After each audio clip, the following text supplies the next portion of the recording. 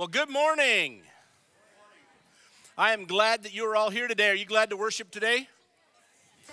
Ron, it is so good to see you here today. Way to go. Proud of you. if you would stand, um, I want to read. We, if you've noticed, we've been reading in Colossians a lot. And I want to continue in Colossians. This is chapter 2, starting at verse 6. And now, just as you accepted Christ Jesus as your Lord, you must continue to live in obedience to him. Let your roots go down deep in him and draw up nourishment from him so that you will grow in faith, strong and vigorous in the truth you were taught. Let your lives overflow with thanksgiving for all he has done. Don't let anyone lead you astray with empty philosophy and high sounding nonsense that comes from human thinking and the evil powers of this world, and not from Christ. For in Christ, the fullness of God lives in a human body, and you are complete through your union with Christ. He is the Lord over every ruler and authority in the universe. When you came to Christ, you were circumcised, but not by a physical procedure, it was a spiritual procedure, the cutting away of your sinful nature. For you were buried with Christ when you were baptized, and with him you were raised to new life because you trusted the mighty power of God who raised Christ from the dead. You were dead because of your sins and because of your sinful nature was not yet cut away.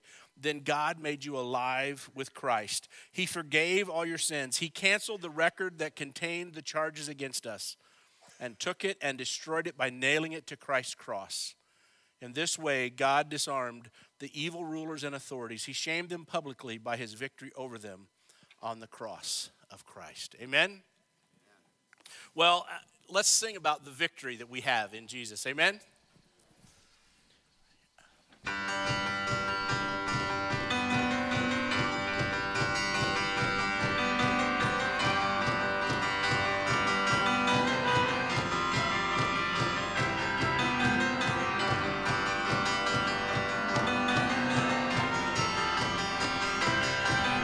I heard an old, old story how a Savior came from glory, how he gave his life on Calvary to save a wretch like me. I heard about his groaning, of his precious blood's atoning. Then I repented of my sins and won the victory. Oh, victory in Jesus, my Savior forever. He sought me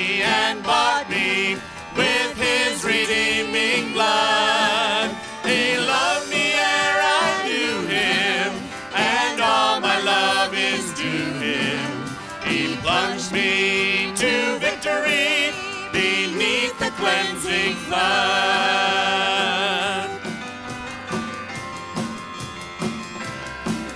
I heard about his healing, of his cleansing power revealing, how he made the lame to walk again and caused the blind to see. And then I cried, Dear Jesus, come and heal my broken spirit. And somehow Jesus came and brought to me the victory. Oh, victory in Jesus, my Savior forever.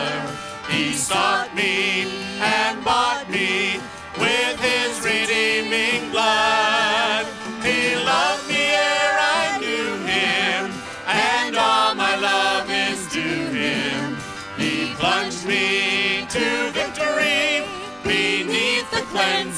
cleansing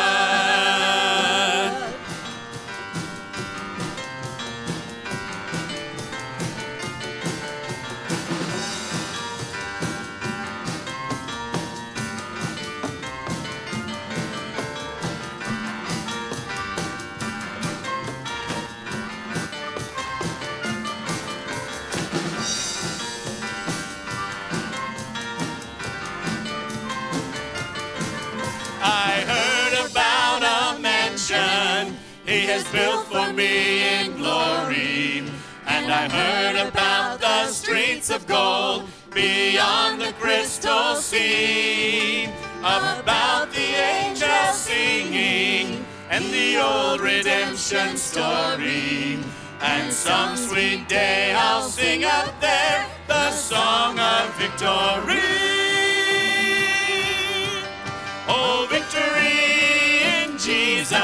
Jesus, my Savior forever. He sought me and bought me with his redeeming blood. He loved me ere I knew him, and all my love is due him. He plunged me to victory beneath the cleansing flood.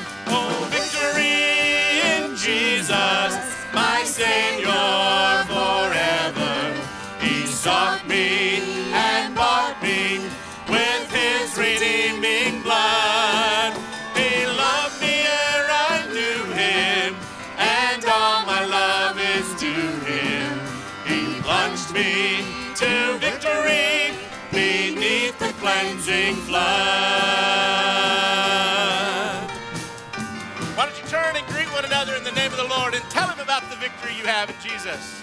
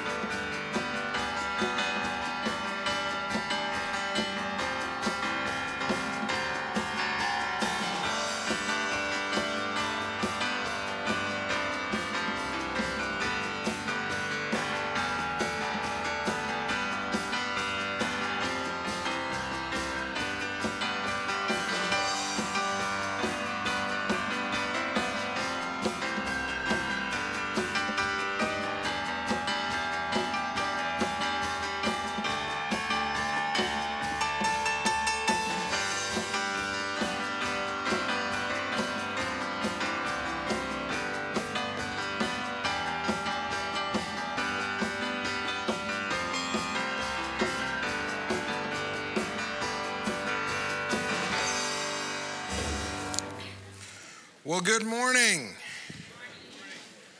Boy, that was weak. Let's try it again. Good morning. Hey, there you woke up. It just took a second. Just took a second. I understand that. It is great to see you this morning. Hope you're having a wonderful day and uh, that your morning started off bright and early and right and everything is good. I'm excited about today. I think we have some great things in store today and uh, we're going to celebrate a lot of fun stuff. I'm going to have Beth come and share an announcement. I'm talking about, is this working? Yep, you're on. Okay, I'm talking about children's quizzing. That's coming up again quicker than we ever thought. We're going to be doing the book of Genesis this year, and we're starting two weeks from today on August the 11th for our regular quiz practice. Here at the church, 145. This is for kids uh, grades 1 through 6, and we would like to have, we have our ones coming back from last year, we'd like to have some new ones. So if you have some friends that would like to come, please invite them. And to kick it off, next week on the 4th, week from today on Sunday, we're going to be having a pool party and information day about quizzing. And that's going to be held at Stephen Glenda Thummel's house. They have a pool there. There's Glenda there. And that's on Albert Street. And um, I will just give you the information if you don't know it. I sent out a little text last night to those who I had on my uh, phone list from last year. And the pool party is going to be at 5 o'clock, so it's at 4 o'clock, but it's already out of date, so we're going to do 5 o'clock. So, anyway, um, things change. I want to make sure we got our Hispanic kids in, so that was why we had to change. It's going to be 4 o'clock somewhere, 5 o'clock somewhere, and if you show up, I'm sure there'll be a pool and a party. How about that? We'll make that, that work. A couple other quick announcements, and then John's going to come and share one, and then we have a little special thing to do today. Uh, next Sunday is a huge Sunday for our church. We're going to be having some very special missionaries in um, who are coming to us from one of our um, areas in the, in the world that we can't tell you where they're from. Uh, they will tell you uh, where they're from, and uh, it'll be a great time of, of learning about missions in a place where it is illegal to be a Christian, it is illegal to share your faith, it is illegal to uh, be all about Jesus. And they're going to share how they do that with a family of four. They have two young boys. And it's just going to be a great service. Following that next Sunday after Sunday school, we're going to have a carry in dinner. We have not done a carry in dinner for like ever. And we're going to do an old fashioned carry in dinner next Sunday uh, after service and Sunday school so that you have an opportunity to spend a little more time with our missionaries. So plan on doing that, bringing in food items to share. It'll be a great day, and uh, we're looking forward to that. In anticipation of that, uh, Friday afternoon, starting at noon through Saturday noon, we're going to be having a prayer vigil here at the church. This will be our third prayer vigil that we've done. We're trying to do uh, one every other month or one every quarter at least. And uh, the sign up sheet for that is out here in this foyer, and we'd encourage you to sign up to be a part of uh, that time of corporate prayer together, individual prayer. We'll have stations around the church to be praying for specific things. Going to be talking about that a little bit tonight and some of the questions uh, that I believe we need to ask in preparation for a time of corporate prayer. So, I encourage you to take time to uh, sign up, and then if you can be here tonight, come and share uh, in a special service uh, with us. Uh, this week is teen camp, junior high camp, and they'll be headed off tomorrow. Uh, we want to be remembering them. And then my wife told me that I have to remember to announce that if you have pieces of fleece, um, material, one yard in length. Uh, they are needing that for a special project they're going to be doing in conjunction with our uh, Women of the Well, a place to belong uh, Saturday in September. And if you have those, if you could see, uh, who all can they see? They can see Dawn Marie, they can see Debbie, they can see um, Cindy, they can see, I think Glenda's a part of that group. Whoever, if they look like they'd be a part of a Woman at the Well thing, just walk up and say, I have fleece for you. And uh, they would love to have that. John's going to come and share. And uh, oh, I got one more thing I have to do first. If you have not yet had an opportunity to sign up for our new communication process, uh, we have some guys walking around. Just raise your hand. Uh, they'd be glad to give you an envelope. The cost is $5 a year. We hate to have to charge for that, but it's the, the best system we've found yet to make it happen, to communicate and make sure that you actually get uh, the information we're sending between all of the internet providers out there, especially the email providers who have decided that they're going to take on spam mail uh, about half the stuff we send out never gets delivered, and it gets they get kind of arbitrary with their who's not going to get it. You'll get it this time and not next time, and it's just weird. So we have found a system that guarantees delivery for us, and it's a, way for us to communicate. So if you've not had a chance, we just need one name per envelope, uh, one phone number, and then make certain that you circle how you would like to receive information, and uh, we'll make sure that we get you that information Pastor John, come share, and then we have something special to do. Well, you've noticed that we said August 11th we were doing Pilgrim's Progress. There's been a slight change. Um, I'm going to just leave that right there. we uh, we are going to show a different movie on August the 11th. Um, have you seen the movie Breakthrough or heard of the movie Breakthrough? Some of you have. Um, well, they are allowing that free for churches. We don't have to do the copyright license uh, if we do it in the month of August. So we are going to show the movie Breakthrough here, um, hopefully on August the 11th. Um, and uh, then in September, as soon as the Spanish version of Pilgrim's Progress is available, we will show it here and we will do an English and a Hispanic, a Spanish, a Spanish version, yes, simultaneously. Okay, so you can choose which one you want to watch. So that will be in September. No, not the same room at the same time. Two different places in our building. So, um, got a couple of movies coming for you August 11th and then in September. It would be kind of fun to do them in the same room at Yeah, the same time. I don't know if we can do that. Hey, that'd be good. Well, hey, you know, every once in a while, um, God allows us to have somebody really, really, really special in our midst. And um, we had somebody in our church family this summer who has accomplished something that a lot of people only dream of. And I'm going to have Bailey Boyer come up and see me. Come on up here, girl. And you're like a little shorter than these are, so I'm going to lower these. Sorry, I had to do that. calling you up, calling you out. It works really well. I'm going to let John do a little bit of an interview after. Yeah, you're going to talk to her about what all she had to do, but I'm going to share a little information about her first. Why she is so special. Uh, Bailey is a gymnast. And if you've ever been outside before or after church and you see this thing go twirling and whirling and flipping and flapping away, you would probably be able to say, That's that, there goes Bailey.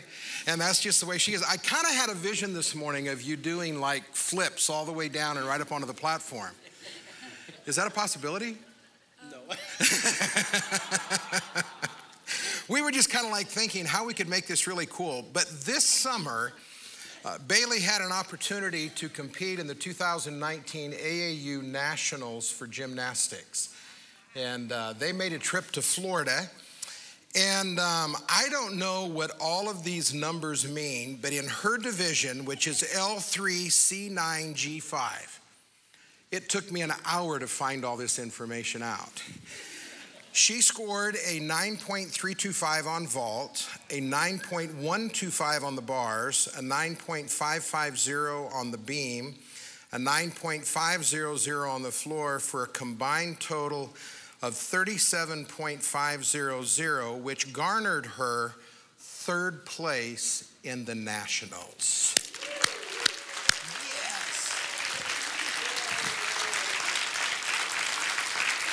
Now, now that's huge, but let me read what else she has done to get there. Uh, she won first in the all around at seven out of 10 meets, second all around at two out of 10, and third in the all around in one out of 10. So, at least top three in every meet she competed in. She's received 21 gold medals, seven silver medals, four bronze medals um, at the Nationals, those numbers, she placed second on the vault and floor, fourth on the beam, sixth on the bars, third all around, and she just did amazing. And we just thought you all needed to see somebody who's like a hero because she's one of us. Isn't that cool? Now, John, you get to ask her questions what it was like and where they went and all that good stuff. Okay, so I, I wasn't knew that I didn't know that I was going to do this. So, how did you how did you get there? What did what did it take besides winning all these events? How long did how long was this process? Thank you. I'm, I'm interviewing her. You can go sit down. how how long of a process was it? Like, did you start this summer or last summer? I started, okay, I'm a second, I was a second year level three, and so I've already been a level three, and I didn't do so well last season, so I worked hard to win this season.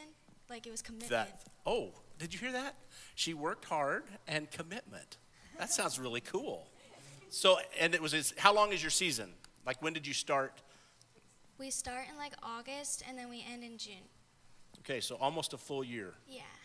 Wow, wow. Where was the where was the state meet held? Um, here. In Salina. Yeah. Cool. And how long did you have between the state meet and the fi- and the national meet? About two or three months. Two or three months. Yeah. Cool. Anything that you would like to know from Bailey? This is why she would always say on Wednesday night, "I've got gymnastics. I can't come to youth group." Um, in level three, I practice from 5:30 to about eight. At- In the evening, right? Yeah. How many days? Three days a week. And that doesn't count the, all the times that she's hanging around the church doing the. Those are just fun things. Yeah. I started when I was like eight, and I'm 12 now. All right. And it, Um, I like beam and floor. A lot. I could answer that question. There were over 400 names I went through in like two point print to find Bailey. if I'd have known to go to your level, it would have been a whole lot easier.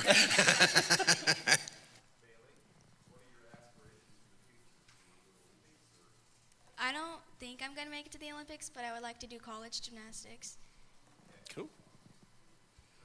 All right. Well, thank you, Bailey.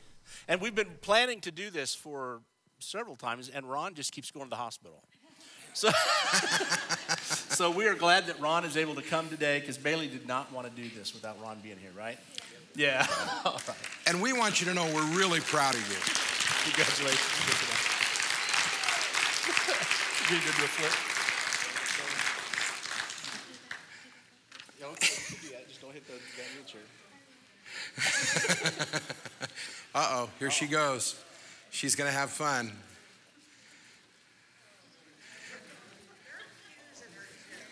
Huh? I, you haven't watched. Here she goes.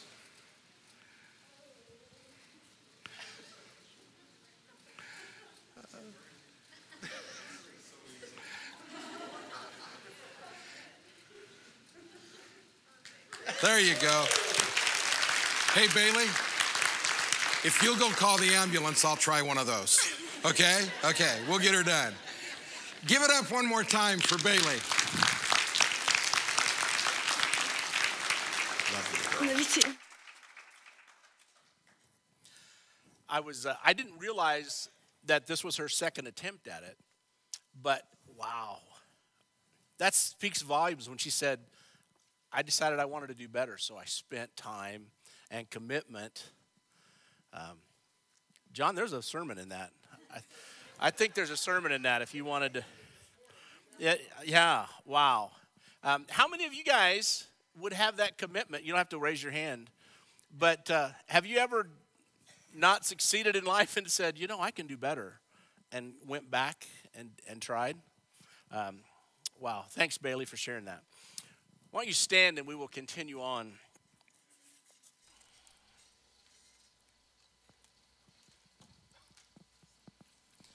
We're talking about all the joys of the Christian life are found in Christ.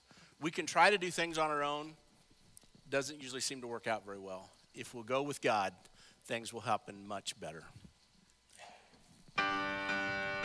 Oh,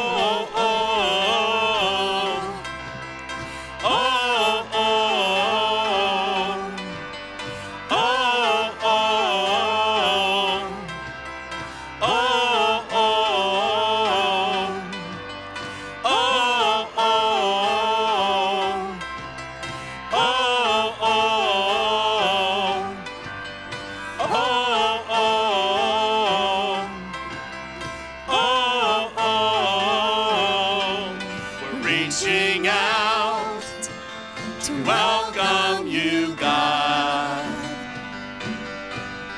Fill this place again with your song.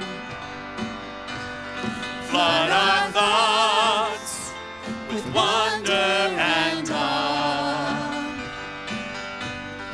Give us a greater glimpse of a never changing God.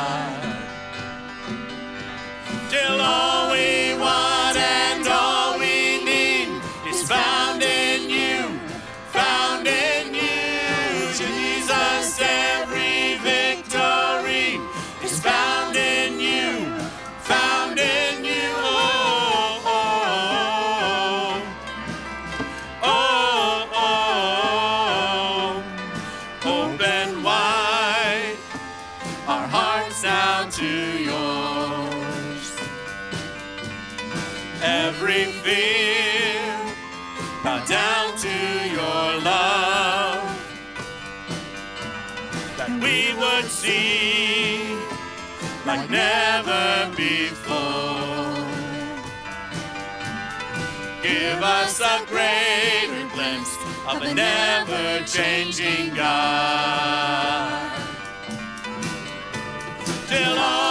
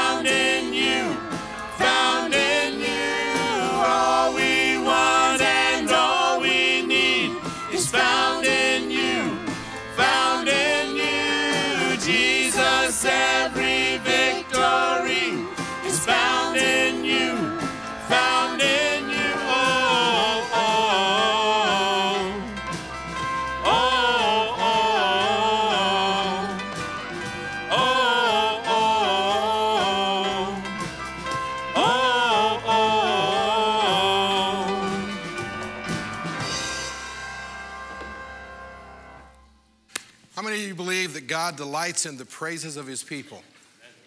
Do you believe that? Do you practice that? Practice praise, saying, God, thank you for all that you do in my life.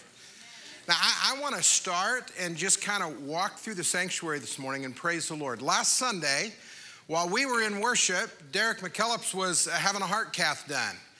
He, uh, he had three blockages. They were able to get opened up. Uh, I saw him during Sunday school, and he was uh, fixing to eat lunch and was excited about life. He, he had a little problem.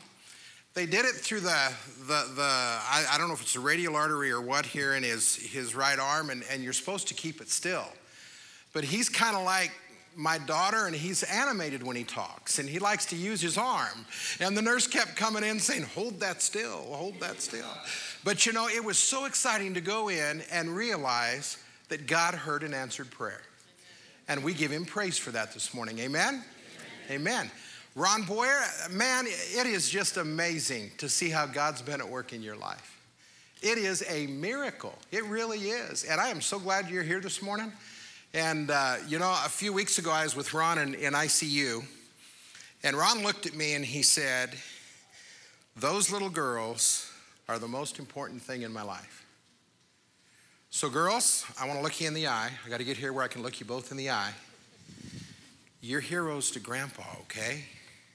So you make him be good. Okay? you make him be good.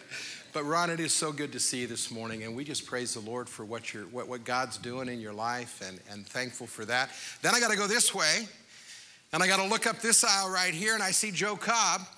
Joe decided this week that he was going to um, see if he, you know that old phrase, weebles wobble, but they don't fall down?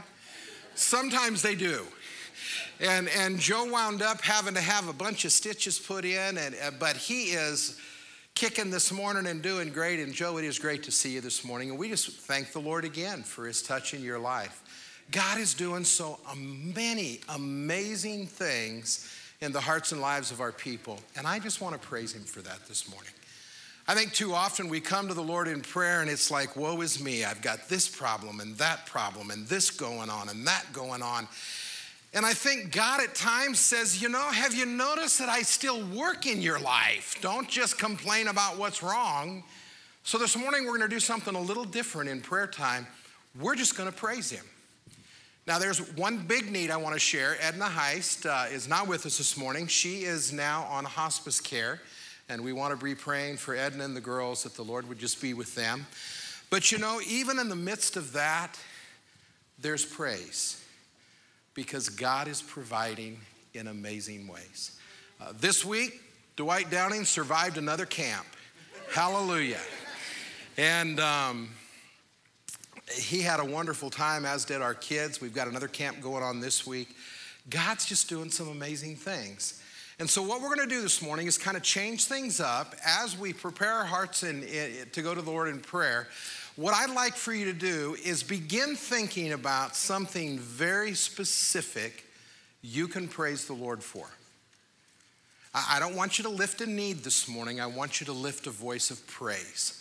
And when we come to prayer time this morning, you'll have an opportunity to do that out loud, and we're going to celebrate what Jesus is doing in our midst. Amen? Amen.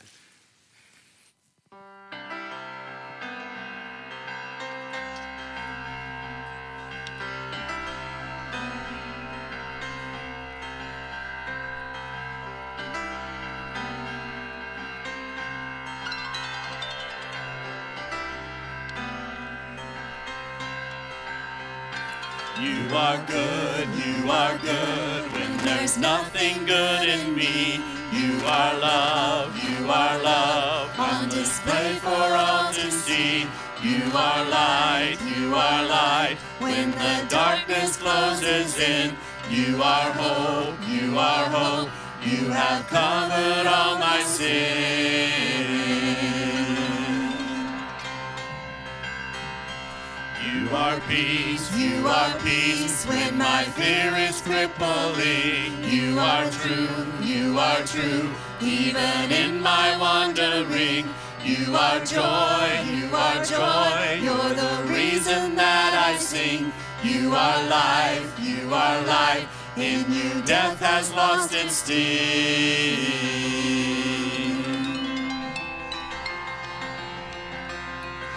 Oh, I'm running to your arms. I'm running to your arms. The riches of your love will always be enough. Nothing compares to your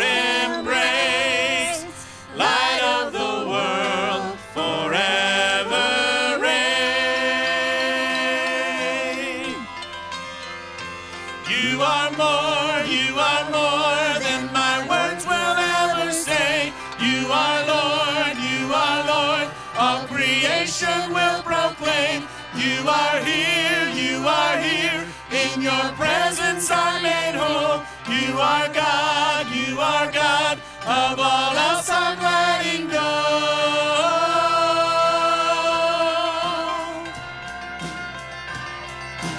Oh, I'm running to your arms.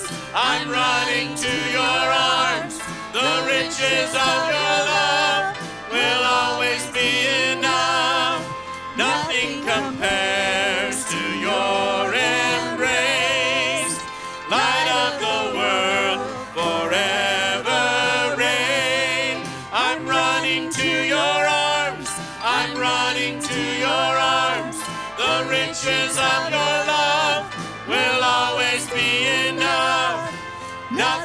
compares to your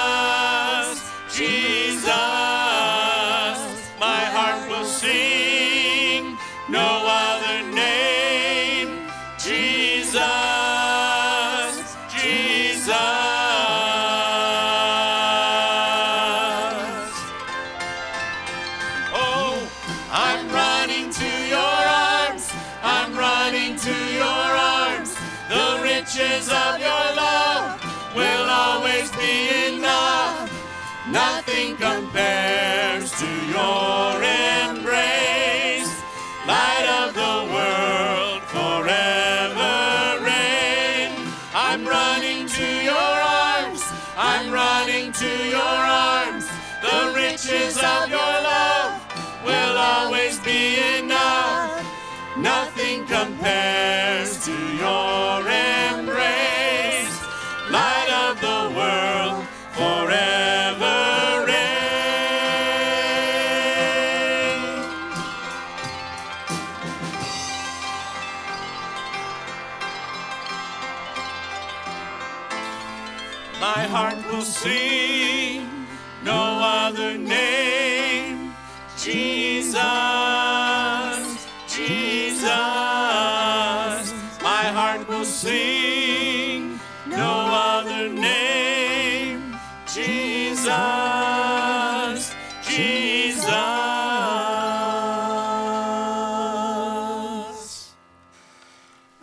God, we hear your word where David says, Praise the Lord. Praise God in his sanctuary. Praise him in his mighty heavens. Praise him for his mighty deeds. Praise him according to his excellent greatness. Praise him with trumpet sound. Praise him with lute and harp. Praise him with tambourine and dance. Praise him with strings and pipe. Praise him with sounding cymbals. Praise him with loud clashing cymbals. Let everything that has breath praise the Lord. Praise the Lord. And Lord God, this morning as we bow in your presence, our sole desire is to take time to do that, to say thank you, God, for the way you continually provide for each of us, for the way you pour out your love upon us, how when we run to your arms, we're met with that glad embrace, how when in weakness you give us strength how in times of difficulty you are the peace that passes understanding. We just want to pause to give you praise this morning. And corporately, we do that now and ask God you would hear the praises of your people as we offer them to you today. In the name of Jesus.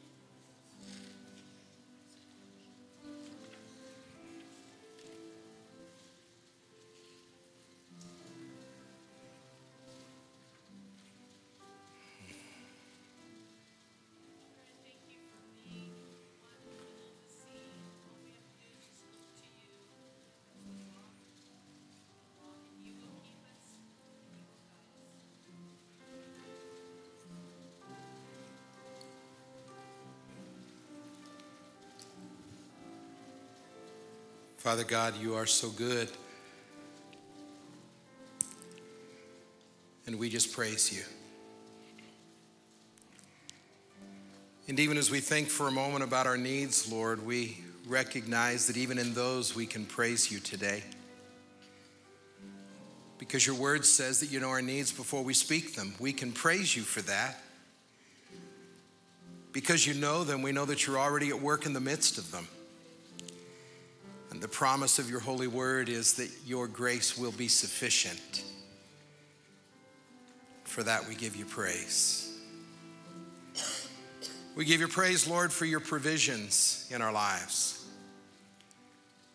for the jobs that we've been blessed to have, for the way that you have provided through them, and for those who are blessed to live in the retirement years, for the way that God you provided and continue to provide. And Lord, we're just so thankful that you see our needs and you promise to meet them. And that's a reality in all of our lives, Lord, and we say thank you. We want to do that tangibly as we worship and return to you our tithes and our offerings of love. And as we do that, I pray, God, that they would be a tangible means of saying thank you and of praising you. Because, God, we take nothing for granted that you do for us every moment of every day. May we today be a people who praise the Lord. Yes, I say it again praise the Lord. In Christ's name,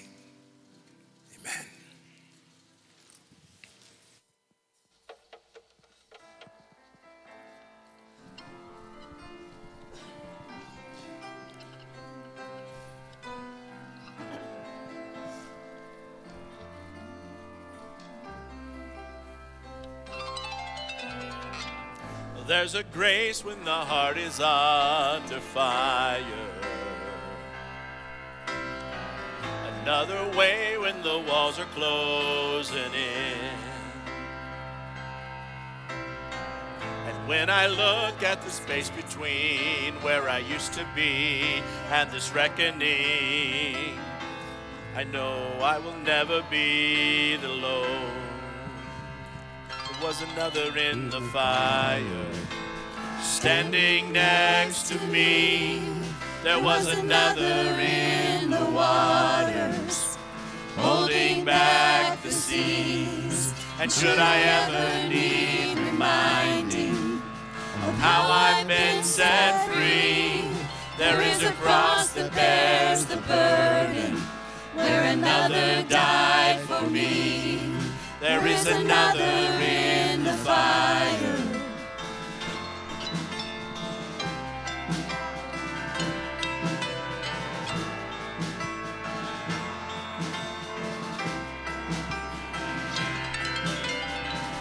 All my dead left were dead beneath the waters. I'm no longer a slave to my sin anymore. And should I fall in the space between what remains of me and this reckoning, either way I won't bow to the things of this world. And I know I will never be alone. There is another in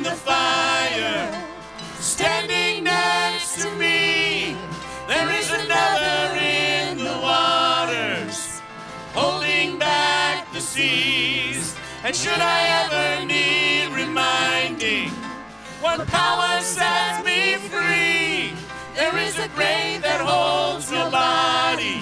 Now that power lives in me, there is another in the fire. Oh,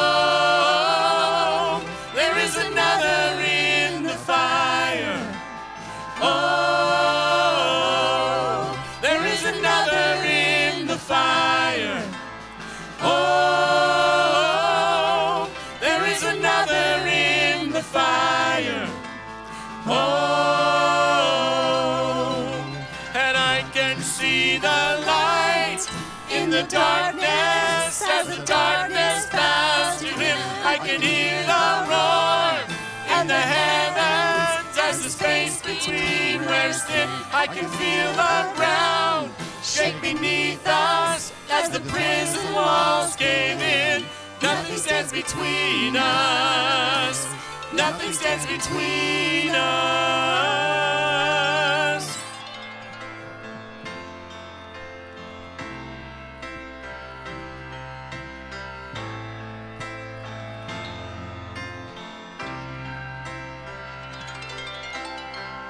There is no other name but the name that is Jesus.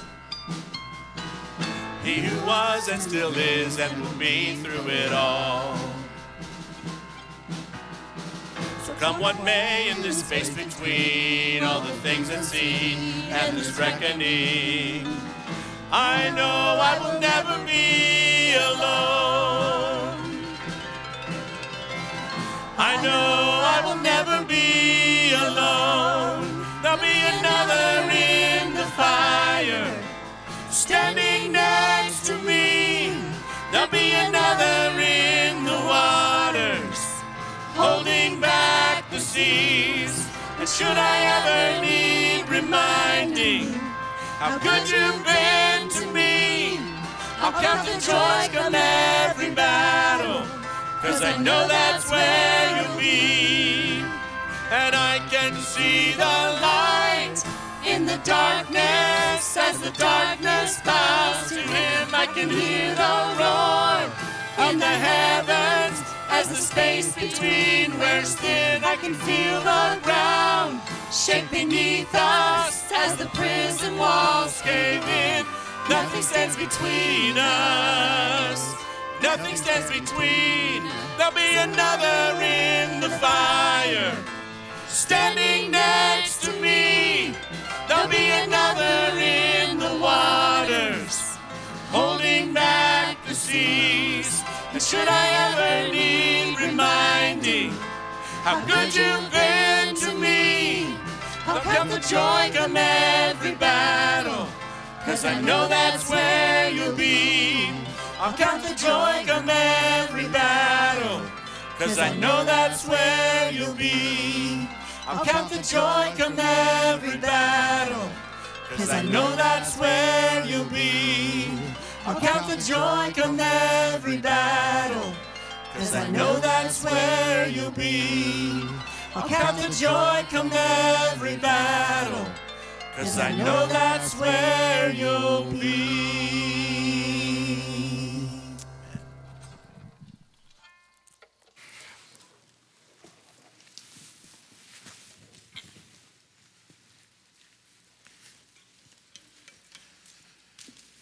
Serve an awesome God, amen.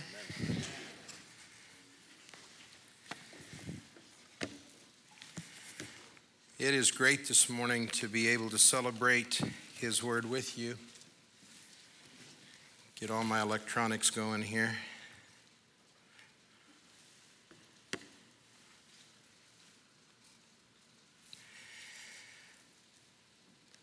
Over the last couple of weeks, I've been sharing with you a part of our vision that God has called us into vital relationship with Him and has called us to lead others into vital relationship with Him.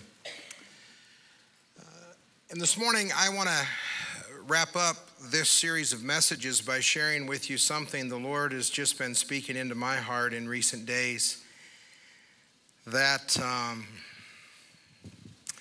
I think is an incredible part of this story an incredible part of what God wants to speak to us. If you have a Bible this morning, and you want to follow along, it'll be on the screen as well. But this morning, I want us to turn to Matthew chapter 10, and we're going to look at verses 16 through 20. I'm reading this morning from the uh, English Standard Version, and, and this is the word of the Lord. Behold, I am sending you out as sheep in the midst of wolves, so be wise as serpents and innocent as doves. Beware of men, for they will deliver you over to courts and flog you in their synagogues, and you'll be dragged before governors and kings for my sake, to bear witness before them and the Gentiles. And when they deliver you over, do not be anxious how you are to speak or what you are to say, for what you are to say will be given you in that hour. For it is not you who speak, but the Spirit of your Father speaking through you. Now, before we get going this morning, I want to say to you very quickly that the context of this passage is very, very specific to the day in which Jesus was ministering. Uh, he's communicating a word to a people who are becoming very used to something that, that we call persecution.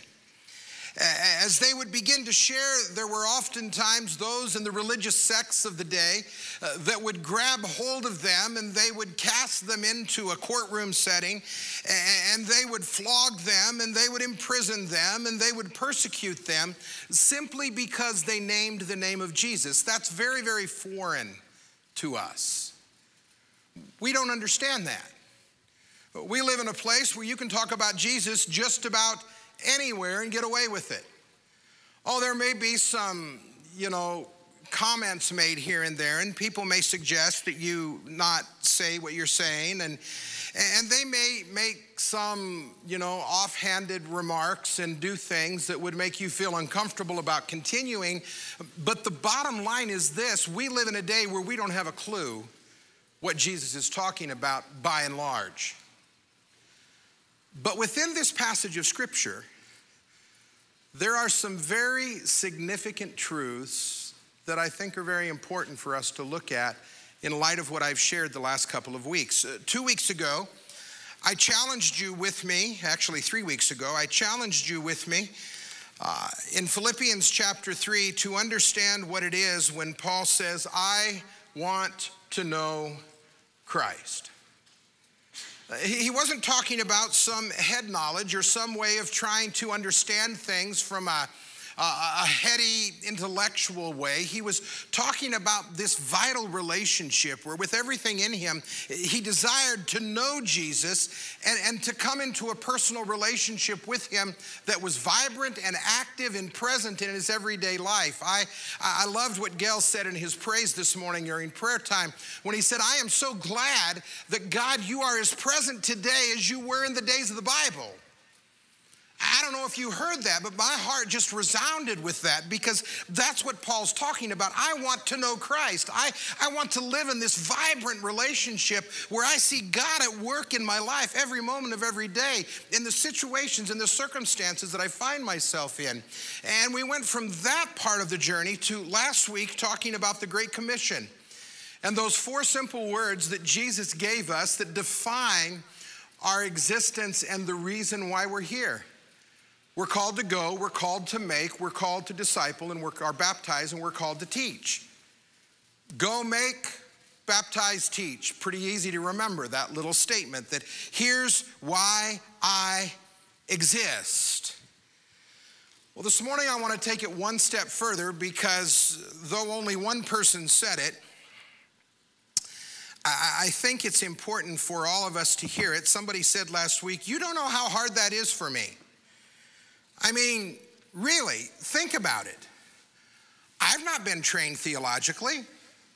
I've not been trained to do all the stuff that you call, you know, going to share the good news. I don't know how to deal with people. And what happens if they answer, ask questions that I, I don't know how to answer? What am I going to say? What am I going to do? Well, I'm going to help you with that this morning.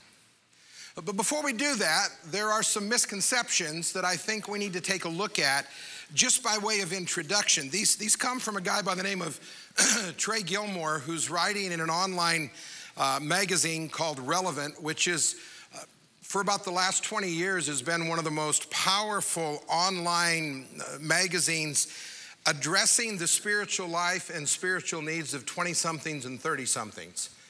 Now, I'm a ways beyond that, but I like to think I'm younger than I am, so I, I read that stuff every once in a while just to try to stay relevant. And it's interesting that what Gilmore says is something I think we need to, to pay attention. The first misconception he talks about is the goal is just to get people to heaven. Now, that's an absolute misconception. Because when it comes to sharing our faith, the goal is not a destination, it's a journey.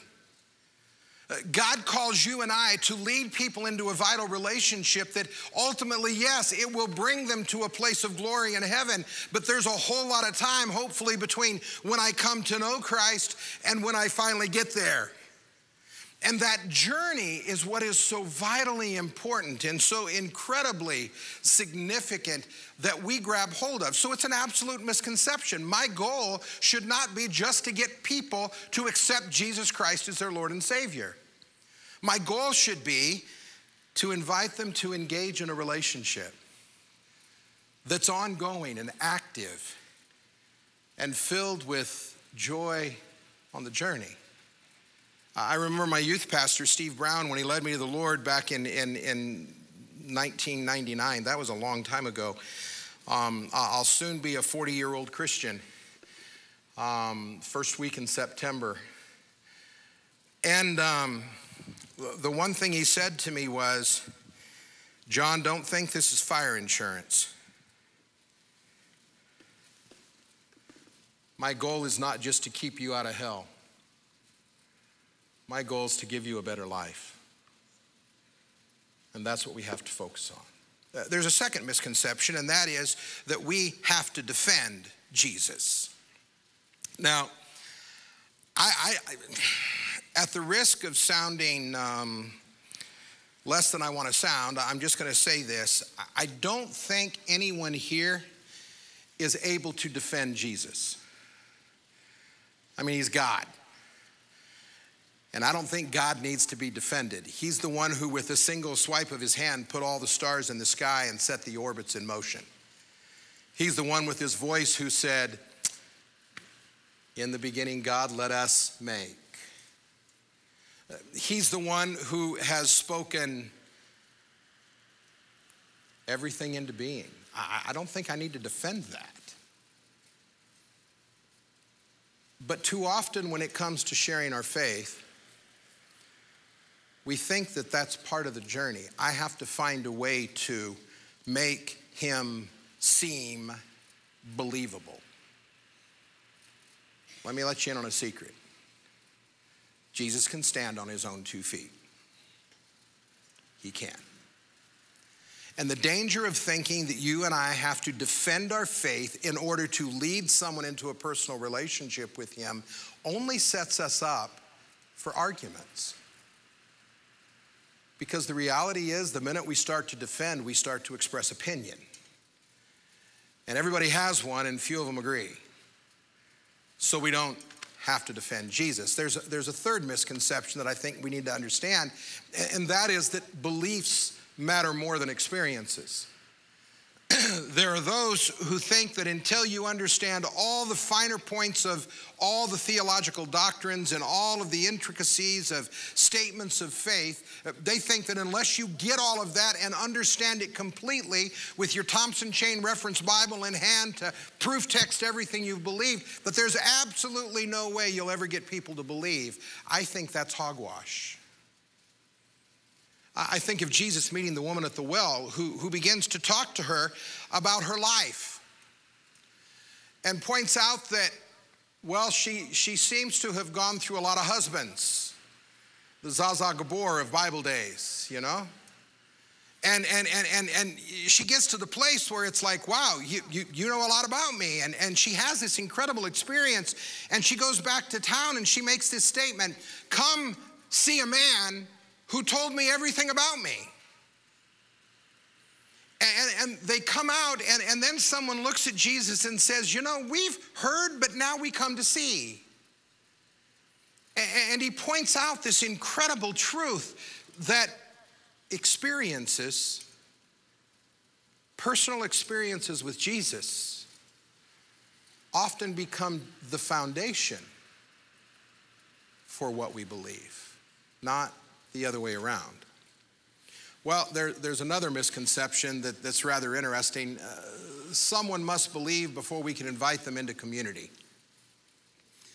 Have you ever noticed that we want people to act like us, dress like us, talk like us, think like us, feel like this, worship like us, uh, before we ever think they can be one of us? Now, I know what you're thinking. Not me. I've tried to break into churches, not physically, but break into the, the fellowship of churches. I have broken into a few churches when I forgot my keys, but, but we'll not go there. Um, but there's this misconception that until somebody has it all figured out, they can't belong. May I suggest that the best place to figure it out is with those who are living to try to figure it out? And we ought not worry about whether or not they get it all right. We ought to celebrate the fact that they're willing to come in and risk hanging out with people who might be just a little bit further down the road than they are. There's a, another misconception. We have to simplify the gospel. I don't believe that God wants us to dumb it down. I, I just don't believe that. Now, we're masters at it, preachers especially. We got three point outlines and four point outlines and four steps to this and four steps to that and three steps to this. And we got the four spiritual laws and we got the Romans road to salvation. And we have to have all these things to simplify what absolutely is beyond our ability to conceive. His ways are higher than our ways. How can we say we're going to figure that out? What God seems to want us to understand is He's going to give us what we need when we need it, and that's good enough. I don't have to have it all. I don't have to simplify it. I don't have to make it something that everybody can grab hold of. I just have to say, let me share with you my friend Jesus. And let Jesus do the work in you that he desires to do. You know, all of those misconceptions really sound great, but they are dead wrong. They're just dead wrong. They're not what this thing of going and making and baptizing and teaching is really supposed to be all about. So listen to the word again this morning that I shared earlier. Behold, I'm sending you out as sheep in the midst of wolves. So be wise as serpents and innocent as doves. Beware of men, for they'll deliver you over to courts and flog you in their synagogues. You'll be dragged before governors and kings for my sake to bear witness before them and the Gentiles. When they deliver you over, catch this do not be anxious how you are to speak or what you are to say, for what you are to say will be given you in that hour. For it is not you who speak, but the Spirit of your Father speaking through you. What incredible truth! That I don't have to know it all, figure it all out, have it rehearsed, and ready to, re- to just recite. I don't have to do that. Because every time I enter into a conversation with an individual person with individual needs and set circumstances that are going on in their world, God the Holy Spirit gives me what I need to say that's particularized for that moment. And it works. Because we're not the ones who save people, He is. Amen? So let me share with you quickly this morning uh, a couple of truths that I think are significant that we can learn from this passage. First of all, we are sent. Behold, I am sending you out as sheep among the wolves. That doesn't sound really nice. I just got to be honest. But the very fact that God has chosen to send you and I into a world that can be at times very contrary is good news. Because don't you think if He sends us, He can take care of us when we're there? Now, now, that word send is an interesting word. It comes from the Greek word apostoleo, and it, it means literally uh, to be sent to an appointed place. It, it's the word that we use, uh, that we translate apostles in the New Testament. It's the word that we use to describe the disciples, Paul, all of those folks who go from place to place to place sharing the good news. Guess what? You and I are one of them. Isn't that interesting? That it's not just the seminary trained, it's not just the Bible school trained, it's, it's not just the people who've gone through all of the requirements to get to the place where they finally get ordained. It's not just those folks who are being sent, but it's every single one of us who is being sent to share the good news of the gospel. As followers of Christ, living in relationship with Him, He has chosen us to share the good news. That's you. That's me. That's we. we have been sent to share the good news. Now, now it's interesting when you begin to look at Scripture and how that all plays out. There are some fascinating words. Romans uh, chapter 10, uh, verses 13 through 15. For everyone who calls on the name of the Lord will be saved. So that's an incredible truth. If you ask Jesus to come into your life to forgive you of your sins, he says, I will do that. It's a guarantee, it's a promise, it's a done deal. He's made it possible through the cross. But notice this how then will they call on him in whom they've not believed? And how are they to believe in him of whom they've never heard? And how are they to hear without someone preaching to them? And how are they to preach unless they're sent?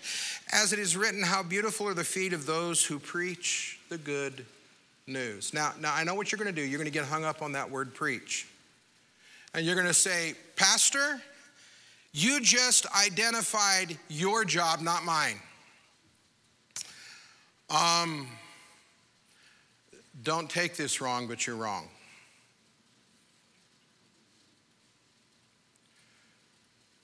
One who preaches is one who tells the story of Jesus. Do you tell the story of Jesus? That's preaching. It's sharing.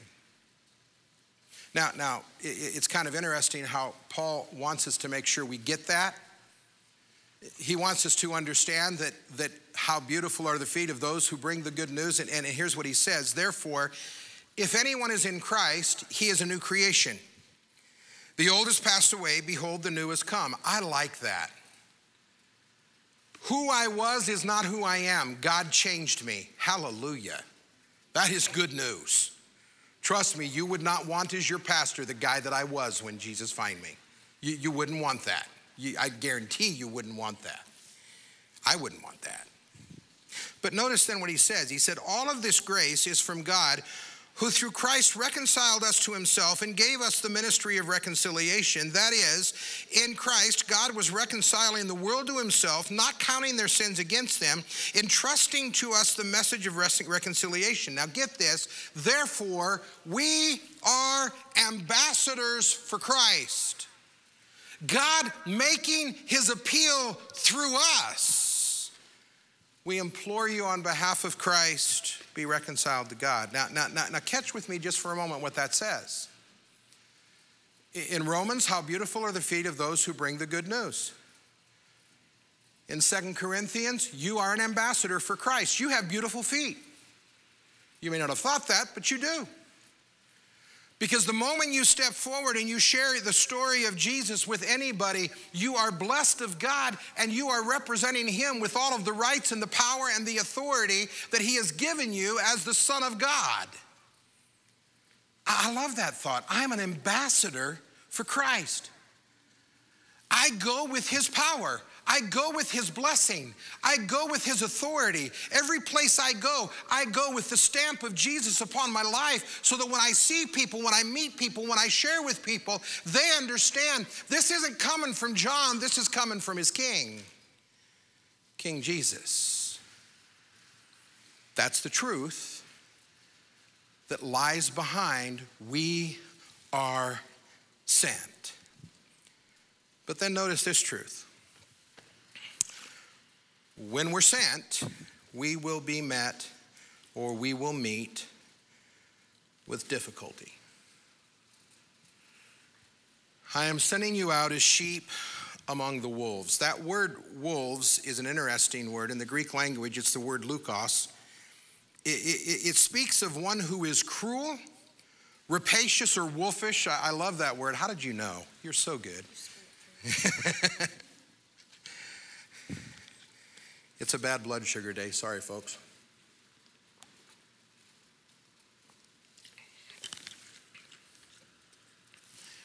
It's an incredible thought that what you and I are going to uh, what you and I are going to face at times is somebody who will respond cruelly or wolfishly or destructive. My last church, I had a family who lived 65 miles south of town and drove in for church, and they raised wolves, purebred wolves. Had a license from the federal government to do so, and there was this rule if you went down to see them, you could drive onto their property, you could pull up to the parking pad at the front door, but you better make doggone sure your windows were up and your doors were locked and your horn worked because you just laid on the horn and waited for someone to come out and put the wolves away. Now, I don't know if you've ever seen an Alaskan timber wolf. They weigh about 150, 160 pounds. They stand about this tall on me. They're bigger than a Great Dane. Their teeth are about that long. And when they smile, they make you just shudder, scare you to death. Every time I read this passage of scripture, I see one of those stupid wolves. Belinda was this tiny little gal. She was a, not much bigger than Bailey this mama. And, and, she would go out and she would throw those wolves on the ground and wrestle with them. And it's like, you are a psycho woman. But to her, they were no big deal. Because those wolves knew who the boss was. And I want you to understand this morning that when you go as an ambassador for Christ, the world that you go into sooner or later will recognize the authority that you have. And they'll just quit arguing. They'll, they'll finally get to the place where they figure out that you mean them good, not evil. That your heart is for something better for them, not what they're living right now. But you have to get there to understand it. Not everyone you're going to talk to is going to be kind. Not everyone you talk to is going to be receptive. Not everyone you talk to is going to say, Tell me more. Some are going to tell you in very emphatic terms, I want to hear less, get out of my face. Doesn't mean we stop going. It just means we understand who we're doing battle with. I love the way Jesus addressed those difficulties. Uh, John chapter 16, verse 33, he said, In this world you will have tribulation, you'll have trouble, but I want you to take heart because I've overcome the world. Those contrary, difficult people who just tell you to hush and be quiet and, and all those other things, Jesus has already overcome them. They just haven't figured it out yet. And if you'll just keep loving and you'll just keep sharing, sooner or later you're going to wear them down and you're going to break through and they're going to find Jesus. Luke chapter 10, verse 16 is an interesting word, and, and I want you to hear this closely. The one who hears you hears me, Jesus speaking.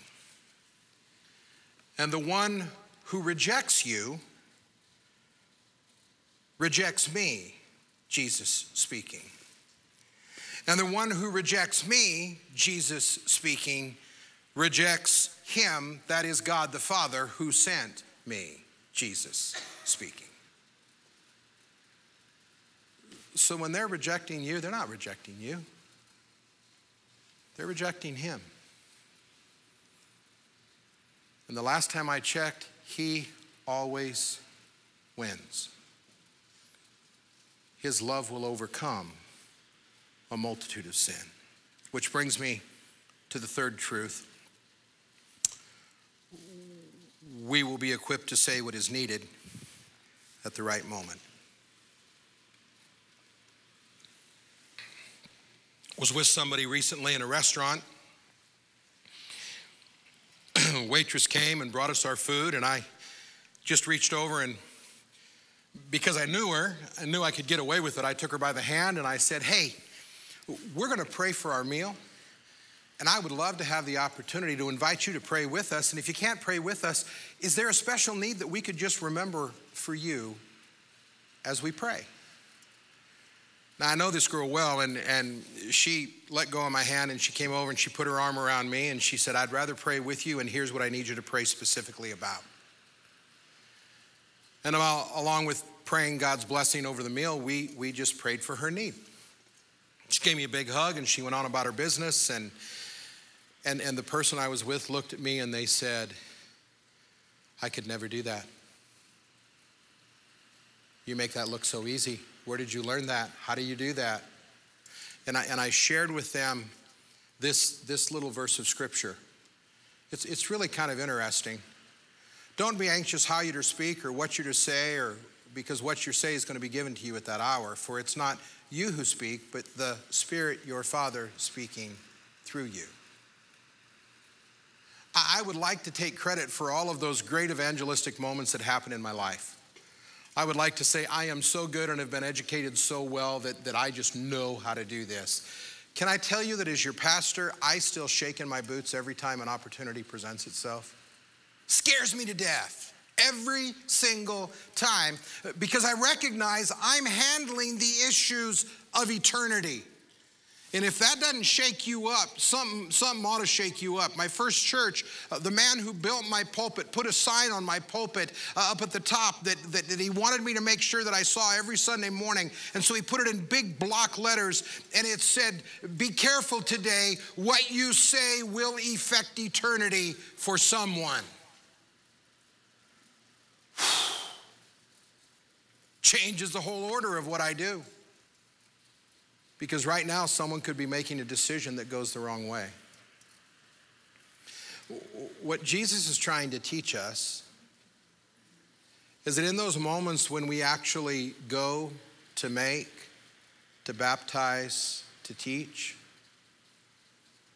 when we actually seek to lead others into a personal relationship with Him, when we actually do what He's called us to do as the sent ones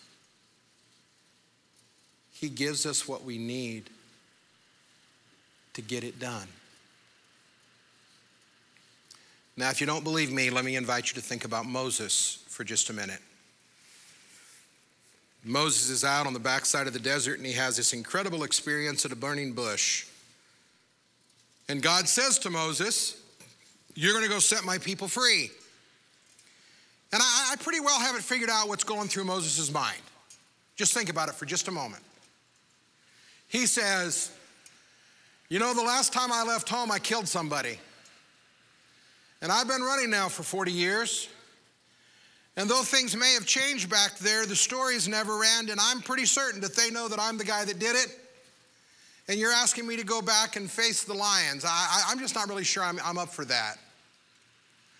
I, I'm thinking that Moses is saying, you know, God, there has to be a better way. Surely there's still somebody back in Egypt who could handle this much better than I. And, and what happens as you begin reading in, in Exodus chapter 4 is, is Moses begins sharing this litany of excuses why he can't, why he won't, and why he will not be involved in the plan and purpose of God for his life. But what's interesting is every objection that he brings up, God counters with a response. You know what? You can say that, but guess what? I'm going to trump that, and, and this is what I'm going to give you to make it happen. It is an amazing story.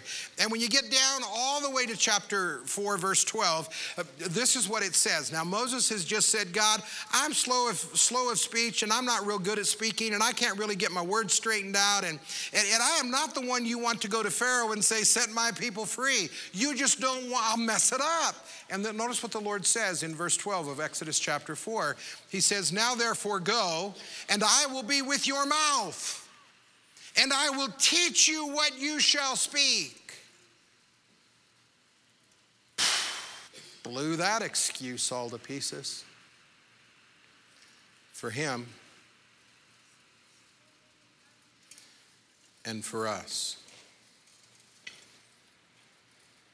You see, the reality is this.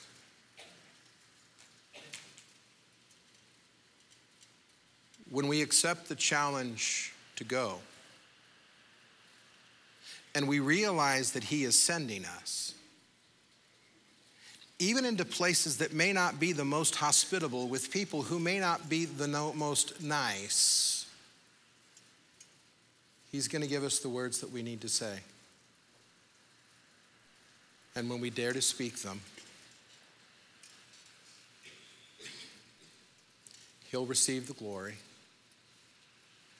and he'll draw people to himself. Now, I don't know what that all says to you, but I'll tell you what it says to me. I am without excuse. It's that simple. Now, I know what you're still thinking. Pastor, you've been trained, though. You've got degree upon degree upon degree. You, you know how to do this. And there is a certain sense that I would confess to you, you're right. I, I've spent 40 years of my life learning how to do this. Now I teach others how to do this. But just because I do it doesn't mean it's easy. Just because it's happening in my world on an almost daily basis doesn't mean it's something I'm totally comfortable with. Because I'm dealing with issues of eternity every time I open my mouth for Jesus. And so are you. And in those moments, he says, I'll be with your mouth and I'll teach you what you should speak. So, hear these words once again from Romans chapter 10 Everyone who calls on the name of the Lord will be saved. How then will they call on him in whom they've not believed? How are they to believe in him whom they've never heard? How are they to hear without someone preaching or telling them? How are they to preach unless they're sent? As it's written, how beautiful are the feet of those who preach the good news. Notice now verse 17. So faith comes with hearing, and hearing through the word of Christ. You and I are sent to share the good news. And so I close with this reminder. We exist to know Christ and to make him known. Nothing more, nothing less. Father, help us.